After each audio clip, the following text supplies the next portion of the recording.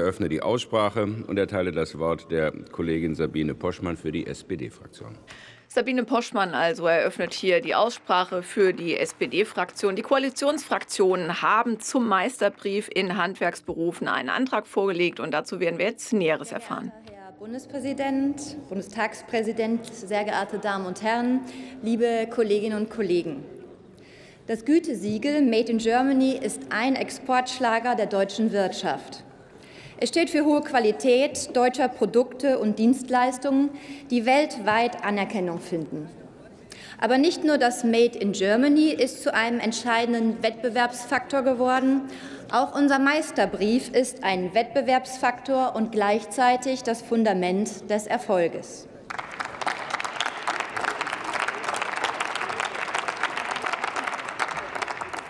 Er bietet jungen Menschen eine Perspektive und vermittelt hohe Qualifikation. Er trägt zur Fachkräftesicherung bei und macht das Handwerk zum Innovationsmotor für die deutsche Wirtschaft. Für viele unserer europäischen Nachbarn gilt deshalb unser duales Ausbildungssystem als Vorzeigemodell.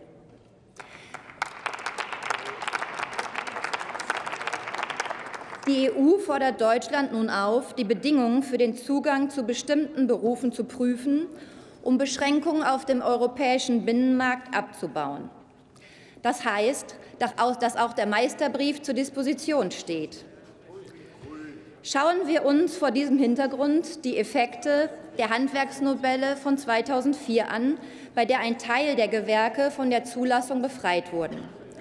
Die Novelle hat zwar zu einem Gründerboom im Handwerk geführt, dies waren aber meist Kleinstbetriebe, oft Soloselbstständige mit geringer Wettbewerbsfähigkeit und wenig Personal.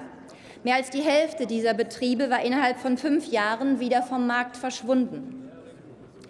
Die Ausbildung im Handwerk findet heute zu 95 Prozent in den Gewerken statt, die meisterpflichtig sind, und nur zu fünf Prozent in den zulassungsfreien Gewerken. Bevor diese Handwerke befreit wurden, bildeten sie allerdings ebenfalls erheblich mehr junge Menschen aus. Und das ist die Gefahr. Ohne Meister, ohne fachliche Eignung sind viele Betriebe gar nicht ausbildungsfähig. Und das, meine Damen und Herren, stellt letztlich einen großen Teil unseres Ausbildungssystems in Frage. Deshalb fordern wir mit diesem Antrag an unseren Standards festzuhalten. Wir wollen dafür sorgen, dass notwendige Harmonisierung in einem Europa ohne Grenzen keine Abwärtsspirale bei der beruflichen Qualifizierung in Gang setzt. Wenn es um den Abbau von Zutrittsbarrieren auf dem europäischen Binnenmarkt geht, ist der Meisterbrief für uns kein Verhandlungsgegenstand.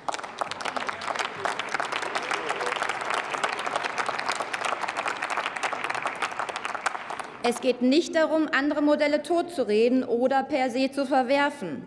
Doch auch die EU muss anerkennen, dass Deutschland neben der Novelle 2004 bereits einiges getan hat, um Wettbewerbshindernisse abzubauen. Liebe Kolleginnen und Kollegen, nun muss es uns gemeinsam darum gehen, diejenigen zu stärken, die sich hohen Standards im Sinne des Verbrauchers verpflichtet fühlen, die Ausbildungsplätze schaffen, ihrer Verantwortung für das Gemeinwohl nachkommen und dazu beitragen, unseren Wohlstand zu erwirtschaften und zu sichern.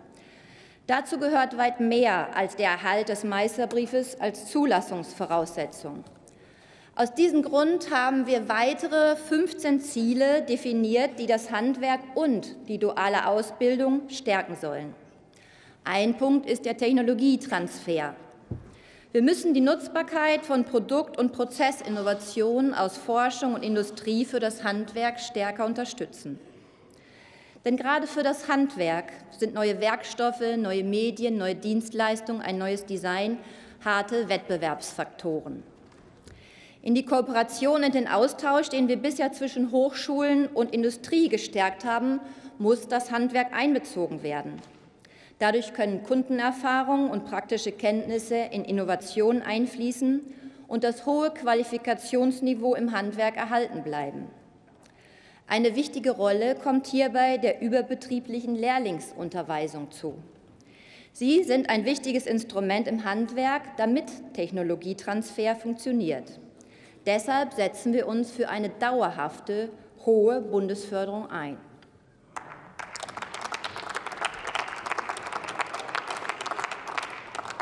Zum heutigen Tag des Ehrenamtes möchte ich auf eine weitere Forderung unseres Antrages aufmerksam machen.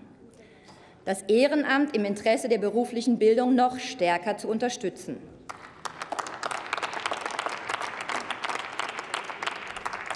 Die vielen ehrenamtlichen Prüfer gemäß Berufsbildungsgesetz und Handwerksordnung sichern die Qualität der Ausbildung und gewährleisten so einen stetigen Nachschub an Fachkräften. Der DGB geht davon aus, dass 15 Millionen Euro dafür stehen, dass Arbeitnehmervertreter im Handwerk durch ihre Tätigkeit an Nettonutzen für Kammern und Innungen äh, mit ihrer Ehrenamtlichkeit dies erarbeiten. Bei diesem Nutzen sollten wir auch an die Qualifizierung der Ehrenamtlichen denken und ein entsprechendes Förderangebot bereitstellen.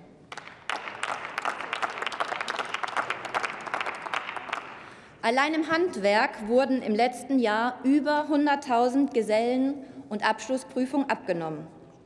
Es ist meist nicht geringe, die geringe Aufwandsentschädigung oder die Freistellung, die ihr Engagement bestimmen, sondern es ist die Anerkennung, unsere Anerkennung und der eigene Qualifikationserhalt, der sie antreibt, sich ehrenamtlich auf diesem Gebiet zu bestätigen.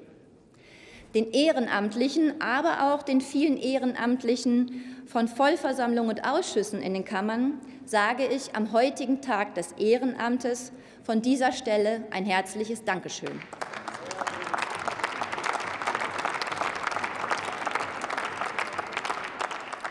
Die Stärkung der Sozialpartnerschaft und der Tarifbindung ist eine weitere wichtige Forderung in unserem Antrag. Sie sind in Deutschland von großer Bedeutung, haben sie doch in der Vergangenheit für Konsens gesorgt und sind wesentliche Faktoren für den Erfolg der deutschen Wirtschaft. Angesichts des drohenden Fachkräftemangels ist es besonders wichtig, gemeinsame Anreize für potenzielle Auszubildende und Fachkräfte zu schaffen. Gute Arbeitsbedingungen, gerechte Bezahlung sowie gute Übernahme- und Aufstiegschancen sind notwendig, um Wettbewerb mit anderen Branchen Fachkräfte langfristig an sich zu binden. Mit dem Gesetz zur Stärkung der Tarifautonomie haben wir einen großen Schritt in diese Richtung geschafft. Doch wir sehen weiterhin Handlungsbedarf für Innungen und Verbände, um Instrumenten der Tarifflucht zu begegnen wie zum Beispiel Mitgliedschaften ohne Tarifbindungen, sollten grundsätzlich auszuschließen sein. Liebe Kolleginnen und Kollegen, dieser Koalitionsantrag ist Teil einer mittelstandsfreundlichen Politik, die wir in dieser Legislaturperiode ganz oben auf die Agenda setzen. Der Antrag ist ein weiterer Eckpfeiler auf unserem Weg, Wettbewerbsfähigkeit, Innovationskraft und Beschäftigung in der mittelständischen Wirtschaft auf Dauer zu sichern und zu stärken. Lassen Sie uns gemeinsam daran arbeiten, dass Handwerksbetriebe auch in Zukunft anspruchsvollen Qualitätsstandards gerecht werden und dass das bestehende duale Ausbildungssystem auf hohem Niveau fortgeführt wird.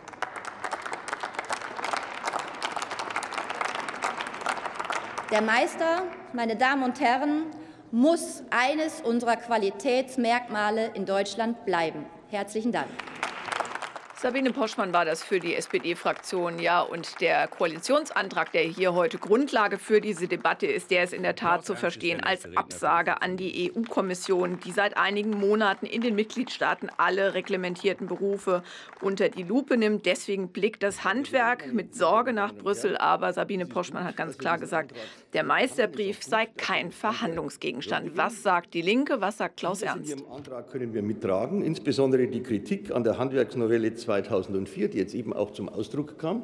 Freut mich sehr, dass es da wohl einen Meinungsumschwung auch bei den Sozialdemokraten gab.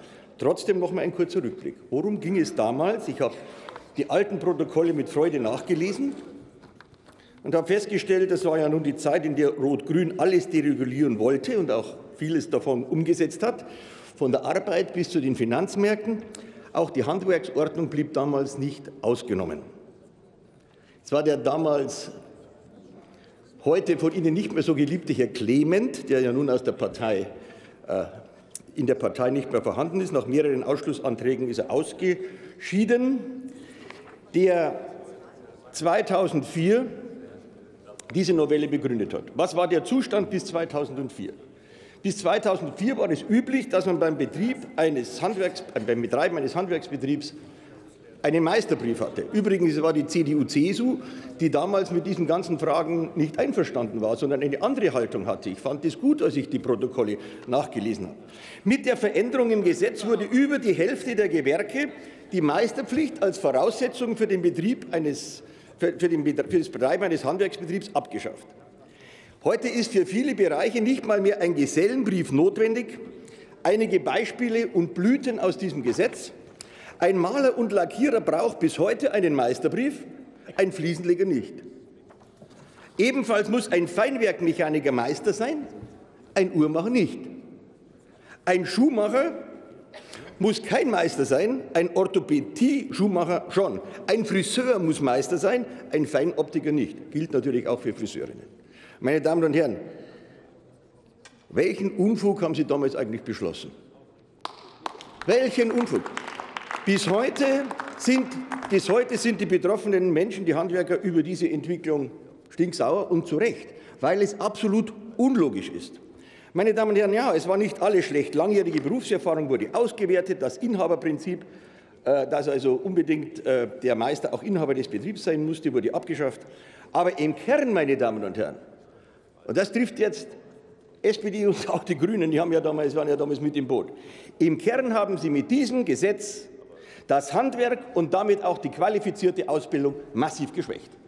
Diesen Vorwurf kann ich Ihnen nicht ersparen. Heute haben die, stimmt, ne? Richtig. Heute haben die Kunden oft nicht mehr die Gewähr, dass sie, wenn sie einen Handwerker beauftragen, auch zu einem ausgebildeten Fachmann kommen. Wir stimmen ausdrücklich mit Ihrem Antrag überein. Der Erfolg der dualen Ausbildung im Handwerk hängt mit der Meisterqualifikation zusammen. In Ihrem Antrag schreiben Sie auch, lassen Sie mich daraus zitieren, die Zahl der Gesellenprüfungen im nicht mehr meisterpflichtigen Fliesen-, Platten- und Mosaikhandwerk ging von 1665 im Jahr 2003 auf 685 im Jahr 2010 zurück. Zitat Ende. Die Zahl der Meisterprüfungen übrigens von 557 auf 84. Selbstverständlich hat das Auswirkungen auf die erbrachte Arbeit. Sie kritisieren in Bezug auf die Handwerksnovelle auch, dass, ich zitiere, Deregulierung nicht zwangsläufig zu einem Wachstumsschub und mehr Beschäftigung führt. Ich wiederhole das, weil es so schön ist. Deregulierung führt nicht zwangsläufig zu einem Wachstumsschub und mehr Beschäftigung. Das gilt allerdings nicht nur fürs Handwerk, meine Damen und Herren. Das gilt auch für andere Bereiche. Aber Sie sollten sich den Satz aus Ihrem Antrag wirklich zu Gemüte führen. 2003 forderten Sie noch für die meisterfrei gestellten Gewerke, ich zitiere, zumindest müssen die Gesellenprüfung und die Ausbildungseignungsqualifikation nachgewiesen werden. Sie forderten eine Revisionsklausel. Alle sieben Jahre sollte die geltende Liste der Meisterberufe überprüft werden. Seit 2005 sind Sie jetzt an der Macht von der CDU-CSU. Was ist mit Ihren Forderungen von damals? Ich hätte mich gefreut, wenn Sie das auch in Ihrem Antrag mal wieder geschrieben hätten, dass man tatsächlich guckt, ist es eigentlich richtig mit der Liste, die wir da gemacht haben? Müssen wir das nicht revidieren? Nein, das bleiben Sie in Ihrem Antrag schuldig. Einen entsprechenden Antrag von uns haben Sie abgelehnt. Dabei gibt es bis heute und schon seit 2004 viele offene Fragen, die damals auch hier im Bundestag diskutiert wurden. Einige davon möchte ich Ihnen hier noch mal stellen. Wie viele der nicht mehr meisterpflichtigen Gewerke werden noch von einem freiwilligen Meister geführt? Hat die Freiwilligkeit irgendeine Auswirkung gehabt, die Sie hier beschlossen haben?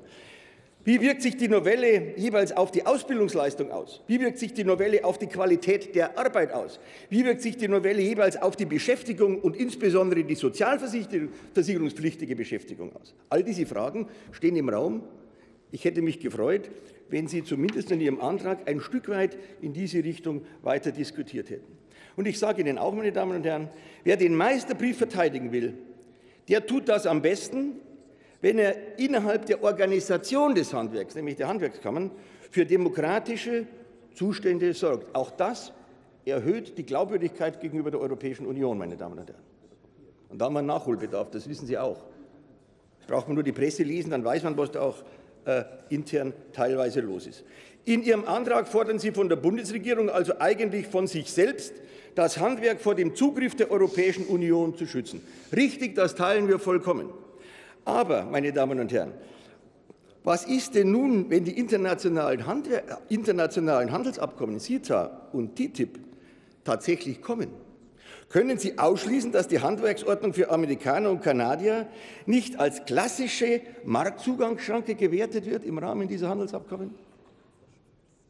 Können Sie ausschließen, dass für die verbleibenden 41 Gewerke, die den Meisterbrief und damit eine vernünftige Qualifikation für den Kunden äh, ermöglichen, dass dort nicht auch das Problem besteht, ob das nicht eine Handelsschranke ist?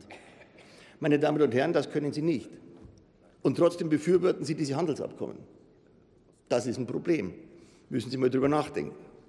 Meine Damen und Herren, Sie promoten möglichst weitgehende Liberalisierung und Deregulierung und am Ende wundern Sie sich, dass genau diese Liberalisierung und Deregulierung den Meisterbrief und andere Standards gefährdet.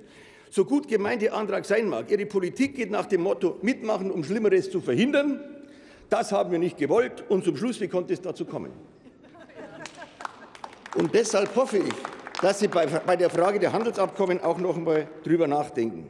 Meine Damen und Herren, Ihr Antrag geht in die richtige Richtung. Er wäre glaubwürdiger und meines Erachtens für das Handwerk auch erfolgreicher, wenn Sie auch versuchen würden, den Unsinn von 2004 zu korrigieren. Sie wollten das damals, inzwischen sind Sie mit der SPD in der Koalition, die machen sicher mit. Danke fürs Zuhören. Ja, das war die Kritik von Klaus Ernst. Weniger an dem Antrag, denn mehr an der beschlossenen Handwerksnovelle, die 2004 die damalige rot-grüne Bundesregierung beschlossen hatte und für einen Teil der Gewerke damals den Meisterzwang abgeschlossen hat. Jetzt hier weiter in der Debatte mit Lena Strothmann für die Unionsfraktion. Herr Präsident, meine Damen und Herren!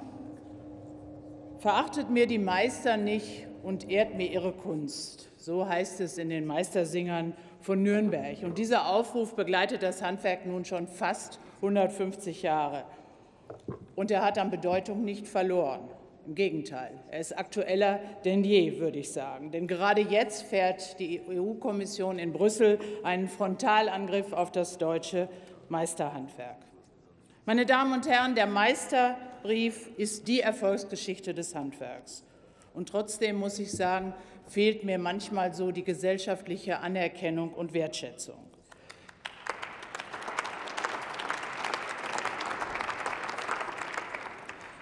Denn der Meisterbrief ist wesentlich mehr als nur ein Zertifikat. Er ist das Markenzeichen des deutschen Handwerks. Er steht für hochwertige Qualifizierung, er steht für fachliches Können, für ausgezeichnete Produkte und Dienstleistungen und er steht vor allen Dingen für Ausbildung und hochqualifizierten Nachwuchs. Aber was macht eigentlich den Meisterbrief so erfolgreich? Meine Damen und Herren, ist es die Qualifizierung an unseren Meisterschulen. Hier erhält der Handwerker das erforderliche Rüstzeug zum erfolgreichen Unternehmertum. Und das sind betriebswirtschaftliche, kaufmännische und rechtliche Kenntnisse. Und eine Studie des Zentrums für europäische Wirtschaftsforschung hat ergeben, 40 Prozent der Betriebe ohne Meister sind nach fünf Jahren insolvent, weil die Inhaber nicht die nötigen Kenntnisse in dem Bereich haben. Und die Meisterbetriebe dagegen sind insolvenzfest. Aber, meine Damen und Herren, zum Erfolg gehört natürlich auch die fachliche Kompetenz, das Können, das Können und Wissen des Meisters. Und das ist die Basis für hohe Qualität der Dienstleistungen und Produkte. Und es garantiert vor allen Dingen hohen Verbraucherschutz und mit großem Erfolg. Denn das weltweit anerkannte Made in Germany wird entscheidend auch vom deutschen Handwerk geprägt. Hierzulande, meine Damen und Herren, vertrauen die Verbraucher auf das Können der Meister. Und die Meisterschule sorgt aber nicht nur für die Kompetenz des Meisters, sie macht ihn vor allen Dingen zum Ausbilder und zur Führungsperson. Ohne Ausbilder kein Nachwuchs und ohne Nachwuchs keine Fachkräfte. Und nur gut ausgebildete Leute können ihr Wissen weitergeben. Und deshalb sind es mit 95 Prozent vor allen Dingen die Meisterbetriebe, die ausbilden. In den 130 Gewerken bilden Handwerksbetriebe rund 400.000 junge Menschen in Deutschland aus.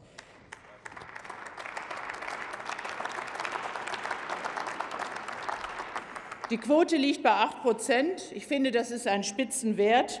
Und damit ist sie im Vergleich zu Handel und Industrie immerhin doppelt so hoch. Und darauf kann auch das deutsche Handwerk stolz sein.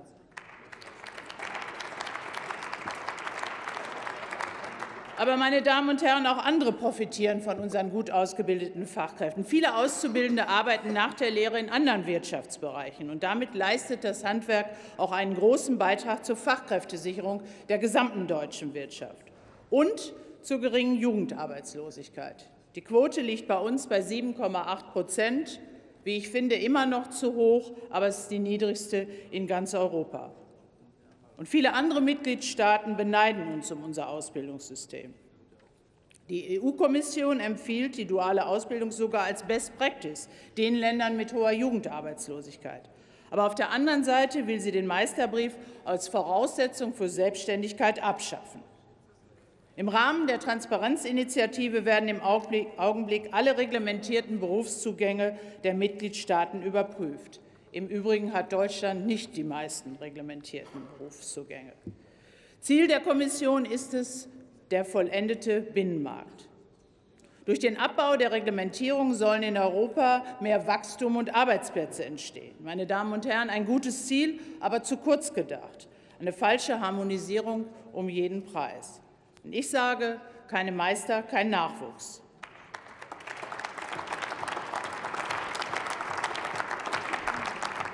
Und wir haben doch in Deutschland nach der Handwerksnovelle 2004 die schmerzhaften Erfahrungen gemacht. Auch damals ging es um mehr Wachstum und Arbeitsplätze. Und was ist passiert? Eine fatale Abwärtsspirale wurde in Gang gesetzt. Nachdem 53 Handwerksberufe zulassungsfrei wurden, gab es zwar viele Existenzgründer, aber leider zum großen Teil nur Einmannbetriebe. Und sie konnten sich nicht lange am Markt halten, jedenfalls die meisten. Eine Studie des Instituts für Handwerk und Mittelstand belegt, Fünf Jahre nach Gründung waren 60 Prozent dieser Betriebe vom Markt wieder verschwunden. Aber vor allen Dingen, meine Damen und Herren, das Schlimmste ist, in diesen Gewerken wird nicht ausgebildet. Im Zeitraum von 2003 bis 2010 gingen die Zahlen der Gesellenprüfung im Fliesenlegerhandwerk von 1.665 auf 658 zurück und die Zahl der Meisterprüfungen sank im gleichen Zeitraum von 557 auf 84.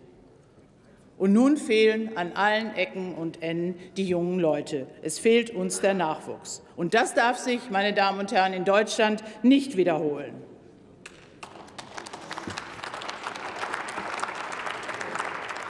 Und deshalb gilt nach wie vor, wer den Meisterbrief angreift, legt gleichzeitig die Axt an ein erfolgreiches Ausbildungssystem. Und das muss auch Brüssel begreifen. Der Meisterbrief und die duale Ausbildung gehören zusammen. Aber es ist ein harter Kampf mit der Kommission. Die Kommission sagt zwar, die Überprüfungen sind ergebnisoffen, aber ich kann das ehrlich gesagt nicht ganz glauben, wenn man einen Prozess über zwei Jahre anlegt. Aber ich bin trotzdem optimistisch, denn wir haben die guten Argumente und wir haben vor allen Dingen gute Leute in den Clustergesprächen vor Ort.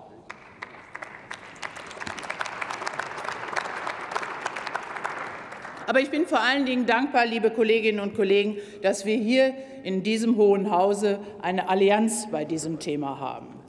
Wir haben im Koalitionsvertrag klare Aussagen getroffen. Auch der Bundesrat hat sich entsprechend positioniert. Und das ist ein starkes Signal an Brüssel. Für mich ist im Übrigen noch die Frage der Subsidiarität zu klären. Und hier sage ich ganz deutlich, der Meisterbrief und berufliche Bildung sind nationale Angelegenheiten. Ich bin überzeugte Europäerin, aber Europa wird nicht wettbewerbsfähiger, wenn wir in Deutschland unsere erfolgreichen Standards aufgeben.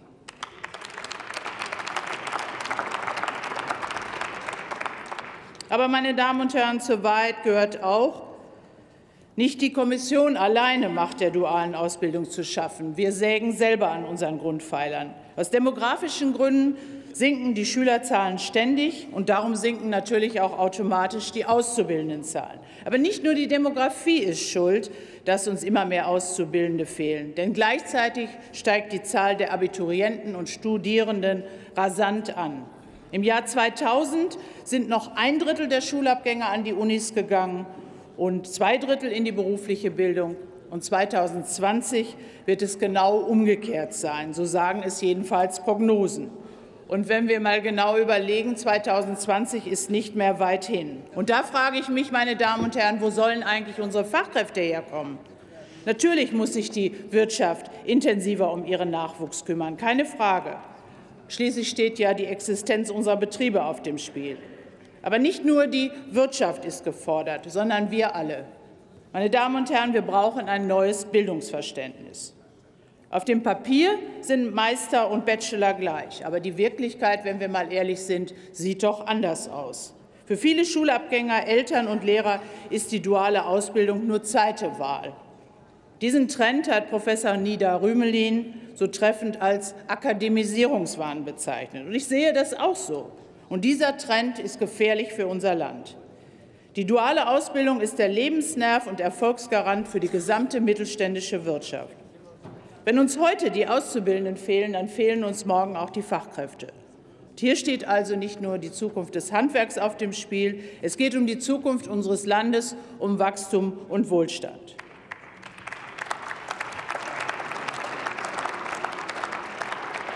Meine Damen und Herren, und das muss sich ändern. Und ich glaube, hier ist es schon fünf nach zwölf. Sonst werden wir die großen Zukunftsaufgaben wie die Energiewende beispielsweise oder die Digitalisierung nicht meistern können. Und Nape können wir dann auch gleich einstampfen. Allein die Gebäudesanierung ist ohne das Handwerk nicht zu machen. Und deshalb fordere ich ganz klar, wir brauchen mehr Meister statt Master.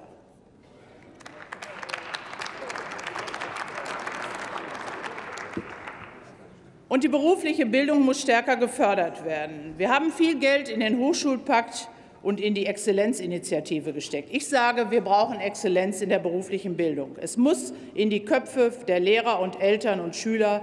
Ein Studium ist nicht immer der Königsweg.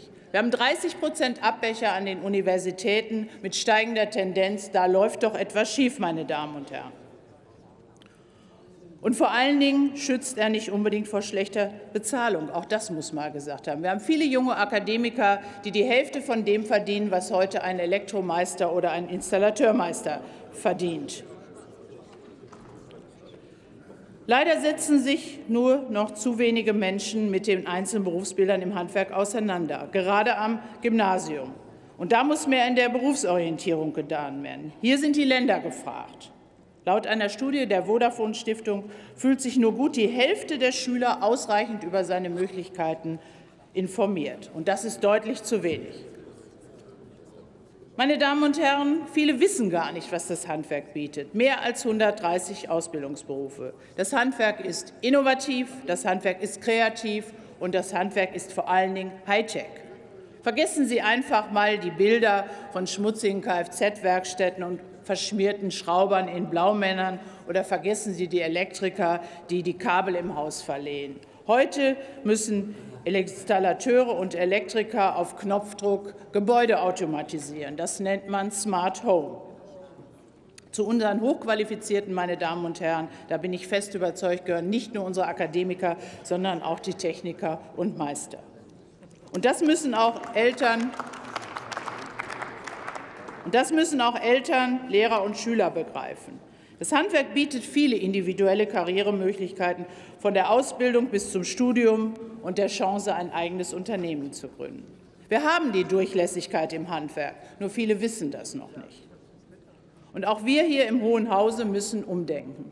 Meine Damen und Herren, ich bin fest davon überzeugt, Bildungspolitik ist knallharte Wirtschaftspolitik. Ohne Fachkräfte läuft in Deutschland bald nichts mehr. Und deshalb müssen wir alle Potenziale für die berufliche Bildung nutzen. Wir müssen die Studienabbrecher gewinnen. Ich finde, es ist eine gute Initiative von Ministerin Wanka. Aber außerdem haben wir jedes Jahr 50.000 Jugendliche, die die Schule ohne Abschluss verlassen. Und auch die müssen wir auffangen. Hier schlummern unentdeckte Talente. Wir sind sicherlich mit der assistierten Ausbildung auf einem richtigen Weg. Meine Damen und Herren, lassen Sie mich zum Schluss aber noch sagen, die Wirtschaft ist kein Reparaturbetrieb für schulische Defizite. In den Schulen muss mehr getan werden. Rechnen, Schreiben und Lesen kann man wohl von den Schülern verlangen, wenn sie einen Abschluss haben. Meine Damen und Herren, Sie sehen, Fachkrä der Fachkräftemangel ist eine der größten Herausforderungen unserer Zeit. Aber es ist noch kein Meister vom Himmel gefallen. Deswegen heißt es jetzt gemeinsam anpacken. Gott schütze das ehrbare Handwerk. Lena Strothmann war das für die Unionsfraktion. Ja, der Meisterbrief in Handwerksberufen und die Stärkung der Handwerkerberufe, das steht hier auf der offiziellen Tagesordnung. Allerdings Abgesehen von den hier aufgesetzten Debattenpunkten geht es natürlich auch hier im Hohen Haus auf den Gängen und in den Gesprächen der Abgeordneten um das Thema Thüringen und die dort anstehende Ministerpräsidentenwahl. Deswegen wollen wir Sie natürlich auch über diese Wahl informieren und werden den Bundestag da deswegen verlassen. Allerdings noch ein Hinweis zu einer Debatte, die am späteren Vormittag hier ansteht. Der Bundestag berät heute ja auch über das neue Afghanistan-Mandat für die Bundeswehr bis zu 850 Soldaten sollen ja auch nach dem Ende des Kampfeinsatzes in Afghanistan bleiben. Diese Debatte werden wir Ihnen am Nachmittag bzw. am späteren Vormittag auf jeden Fall nachliefern. Für den Moment darf ich mich aber von hier verabschieden und gebe in unser Studio nach Bonn zu meiner Kollegin Katrin Augustin. 1980 von